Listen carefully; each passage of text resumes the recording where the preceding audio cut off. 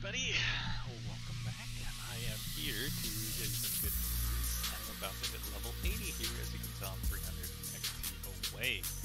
So, it is time for me to cash in this special gift uh, that they gave us. I only have 10 days left on it. I was hoping they'd do another double XP thing or something for me to use it. Um, of forgot to use it earlier. but they didn't, so I'm going to go ahead and burn some energy and finish level 80. So I've already got Ironheart up to 7 stars.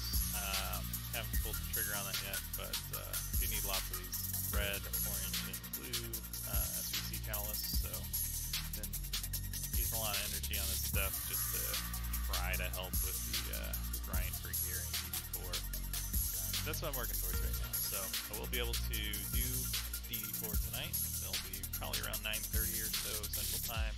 I'll get started into Node 1 and try to go as far as I can. Uh, look at these rewards, a million gold, 100 cores, and 100 energy to help you get towards 81 uh, even sooner than you expected, right?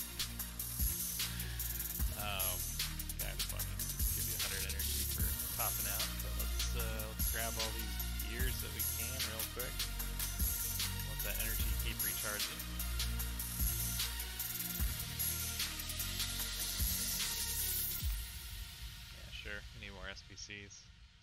They don't drop very much though. There's eight. That's nice. And I do need a lot of these uh, mutant thingies as well. Um, these splice genes. So those molecules and isomers are kind of the, the crunch for certain types of gear that we have for E4 characters. Alright, let's, uh, let's just get some ions here. Uh, I don't know if I need all this stuff, but honestly, it's just such a scatter shot when it comes farming the the ISO gear. I just I just hit the big nodes for the extra um, ions per per energy is a little bit higher for the uh, the 24 nodes instead of 12s, so it's a little bit better. But uh, yeah, either way, I mean, I'll eventually use them. just just burning it right now, just to make sure it gets used because that energy recharges real fast. Uh, oh,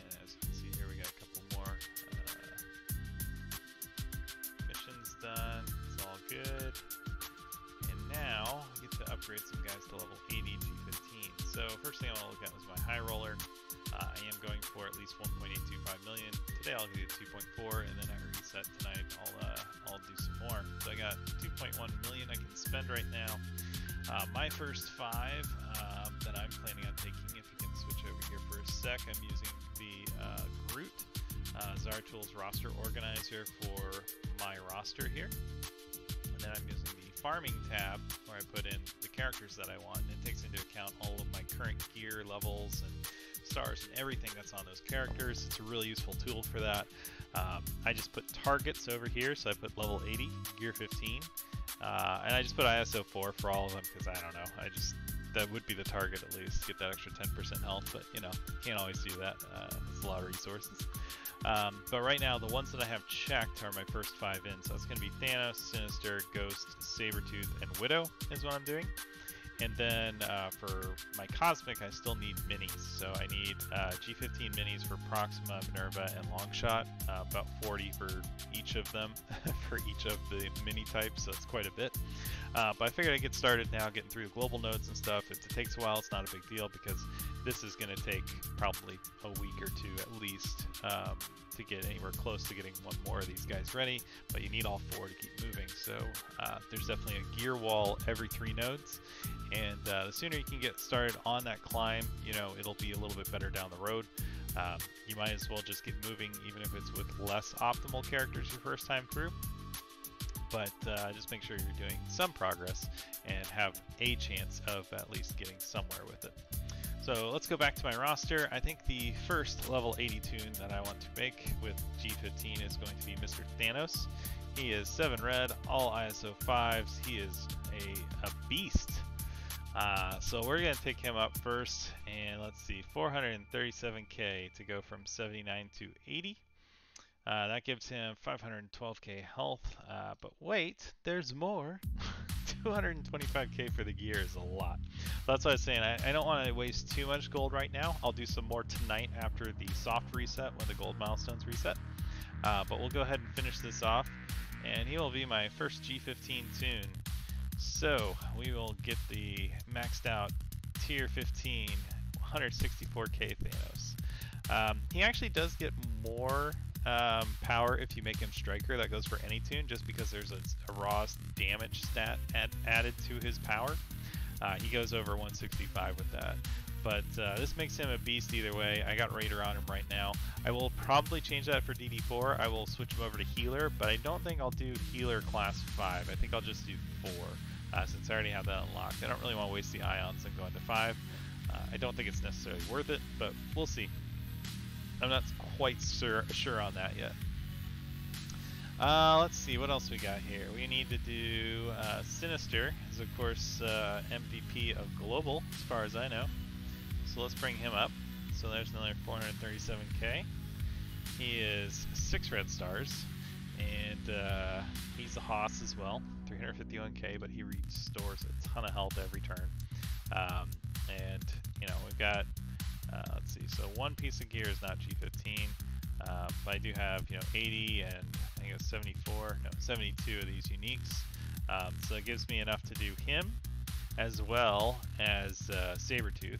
Uh, but I'll be waiting on a lot of mini uniques for either Longshot or Phoenix.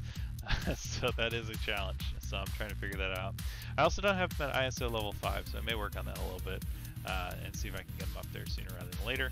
Um, since he is a support character, and there's not a whole lot of support characters in the game, and especially not too many that you want to take up very high on ISO levels, so it may be worth it to get him to ISO 5 healer and uh, make those heals really pop.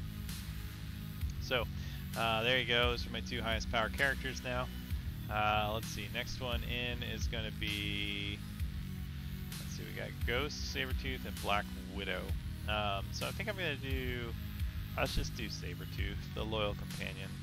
Uh, well, actually, hang on a sec. Let me see where I'm at with my gold spent. So that's the other thing. You just don't want to waste too much gold, right?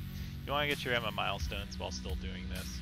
Um, get those gears and everything along the way. Um, so I can spend another eight or 700k, so I can get one more up without uh, hitting my limit.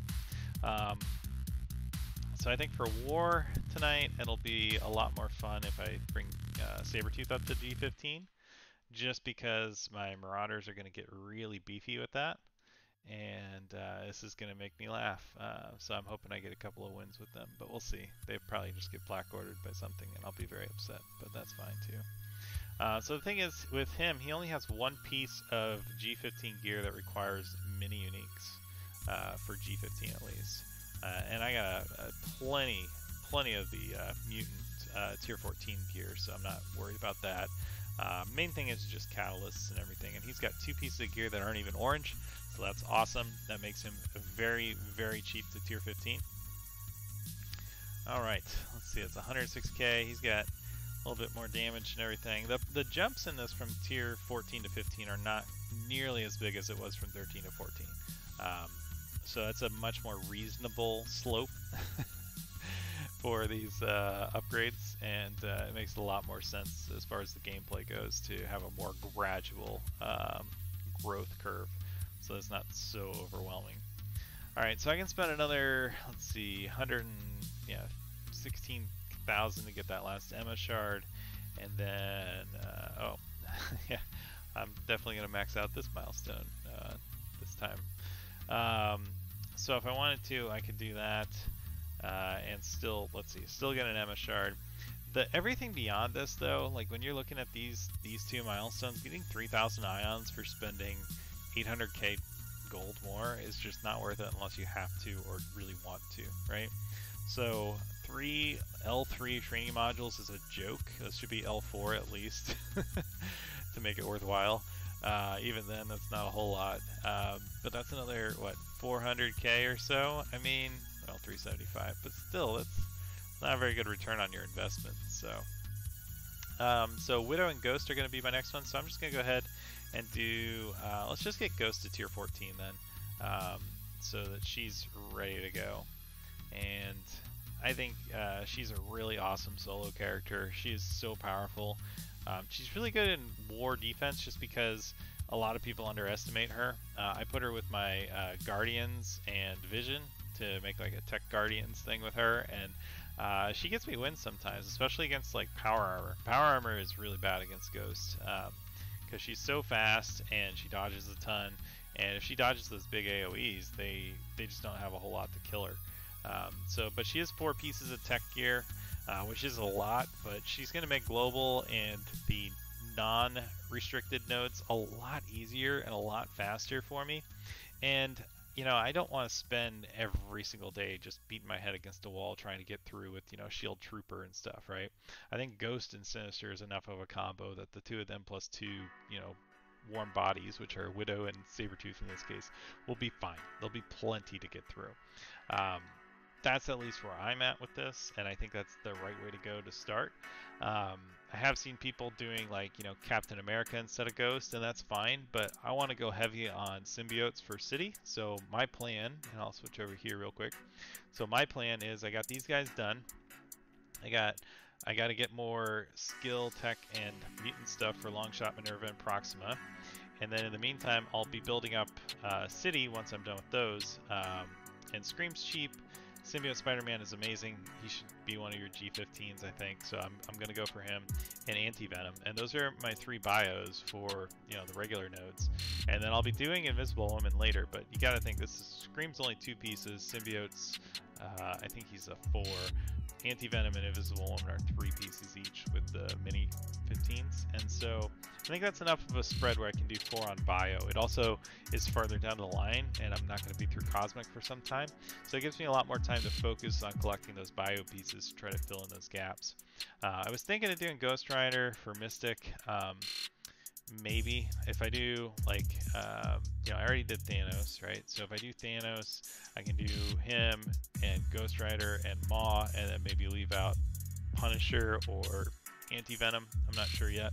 I'm still trying to figure that out and it's also going to come into uh, I'm, I'm going to have to take into account like what sort of orange regular catalyst gear that they need as well. Um, but these ones are done. So uh, what I'm going to do is uh, hit my button on Mantis here to upload my roster information to msf.gg. There we go, it is done. And then I'm going to make an export uh, copy for my roster tool organizer. So I'll do that. And see if we can do this with full desktop here. So, so what I did was I hit the button here to upload to msf.gg. And then, uh, let me see here. So this is my Mantis file. I have my roster export here, so I'm going to copy that over to my Zara Tools folder.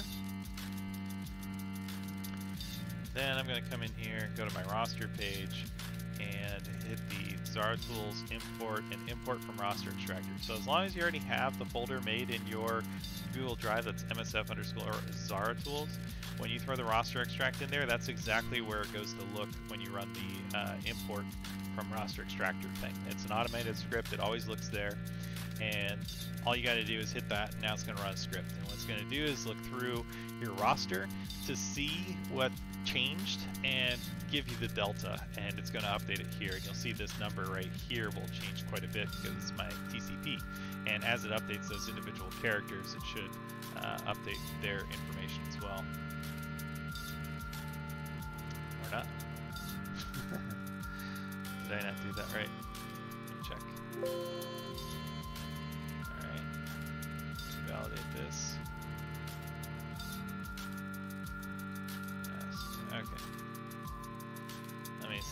Maybe didn't pick them up.